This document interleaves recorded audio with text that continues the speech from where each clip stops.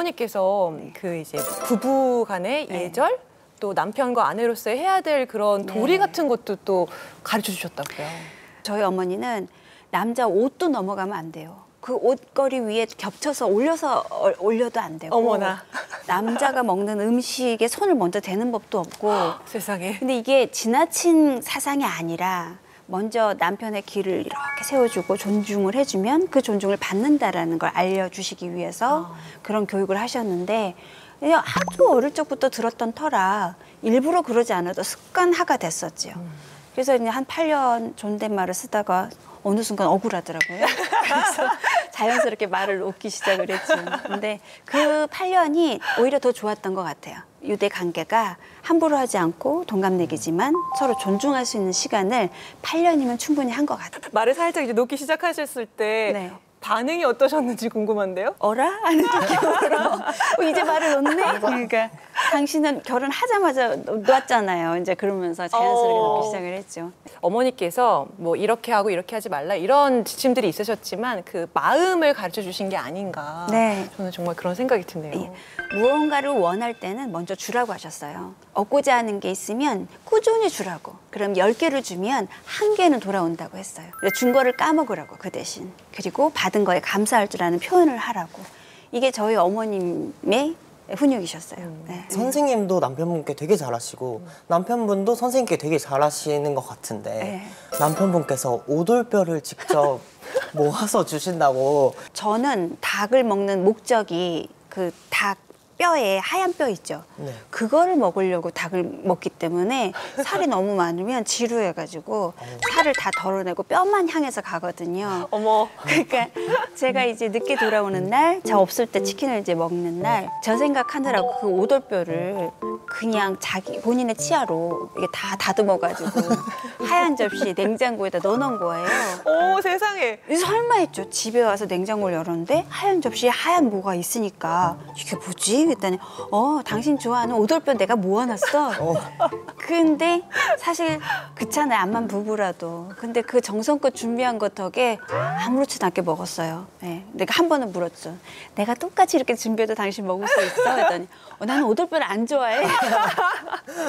네. 와. 저 이런 얘기 한 번도 들어본 적이 없어요. 정말 사랑꾼 어, 근데 이 결혼한 아내는 뭐 어마어마한 선물보다 그 마음을 통하는 내 아내가 좋아하는 걸 준비해주는 그거면 충분히 행복하거든요. 아주 편하게 값안 들이고 사랑 표현할 수 있는 아내 잘 만났죠. 예. 우리 시청하고 계시는 남편분들 잘 귀담아 들으셨을 거라 생각이 듭니다. 인간 오정에 계속해서 이제 얘기를 하고 있는데 두 번째 또 특별한 인연은 누굴지 궁금합니다. 두 번째 키워드는요 명창이 되기 전에 사람이 되거라 김소희 선생입니다 하늘 안으로 사겨낸 애원성과 고고함이 깃들어 있는 청아한 목소리. 한 세기에 하나 나올까 말까 하는 명창 김소희. 삶의 태도부터 소리꾼의 역량까지 아낌없는 가르침으로 제자를 성장시킨 스승이자 오정혜의 또 다른 어머니. 만정 김소희 선생과 오정혜의 풀스토리가 공개됩니다. 어, 만정 김소희 선생님. 네. 정말 빼놓을 수가 없는 분이실 것 같아요. 네. 마지막 제자셨고 쫓겨나거나 또 제발로 나가지 않은 또 유일한 제자라는 이야기를 들었습니다. 그만큼 가르침이 혹독했다는 그런 의미일 것 같은데 어떤 점 좀 가장 힘드셨던 걸로 기억이 나시나요? 자유가 없죠. 예, 모든 것이 스승의 가르침에서 벗어나면 안 되고 어, 지키기에는 제가 너무 어린 나이에 음, 네. 선생님을 만나 뵙게 된 거라 중학교 1학년 때부터 고등학교 3학년까지 아. 선생님 댁에서 기거하면서 그래서 소리 공부를 했기 때문에 첫날 어, 자고 일어나서 이제 지적을 당하던 게 뭐냐면 자고 일어난 친구 정리가 안 돼서 제 일곱 번째잖아요. 네. 몸만 쏙 들어갔다가 쏙 나올 수 있는 특혜를 받고 자란 아이인데 자고 일어난 이부자리 개는 법을 모르죠.